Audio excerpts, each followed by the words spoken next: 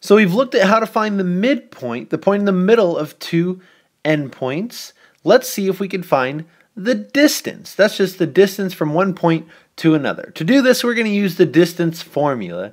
d equals the square root of x2 minus x1 squared plus y2 minus y1 squared. This formula actually is derived from the Pythagorean theorem, but for now, let's just take this for what it is, the distance formula. Let's start by finding the distance between these two points here. So first, let's identify what those endpoints are.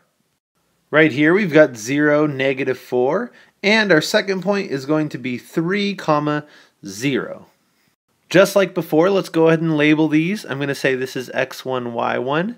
This is going to be my x2 and y2, just like midpoint. It doesn't matter which point goes first, just make sure you keep it consistent.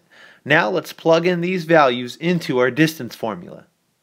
That's going to be our square root of x2 minus x1, 3 minus 0 squared, plus y2 minus y1, that's 0 minus negative 4 squared. Okay, let's go from there to simplify.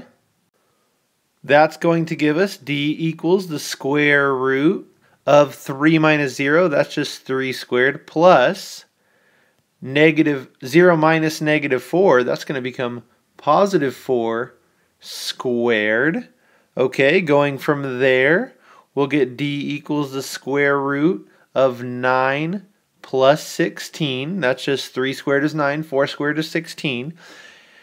Keep on simplifying. That's going to be d equals the square root of 25. And we know the square root of 25 is 5. So our distance is going to be 5 units.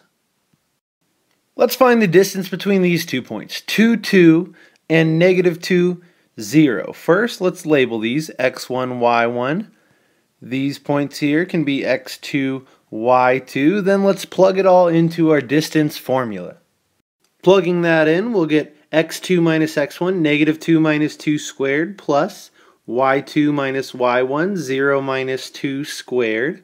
Going from there, we'll get d equals the square root, negative 2 minus 2, is negative 4 squared. And I'm going to put parentheses around this negative because that negative is going to have to get squared as well. Plus 0 minus 2 squared is going to be negative 2 squared hang in there, almost done. We're going to get the distance equals the square root. Negative 4 times negative 4 is 16 plus negative 2 times negative 2 is positive 4. Remember, negative when you square a negative, it becomes positive. Then that's going to give us a grand total of the square root of 20. Now keep in mind from last unit, we can simplify this, right? 20 can break down into 4 times 5, 2 times 2, we get a pair of 2's. We can pull that out. So our overall distance is going to equal 2 square root of 5 because we had this 4 or 2 squared that we can pull out and 5 left over. So our distance is 2 square root of 5.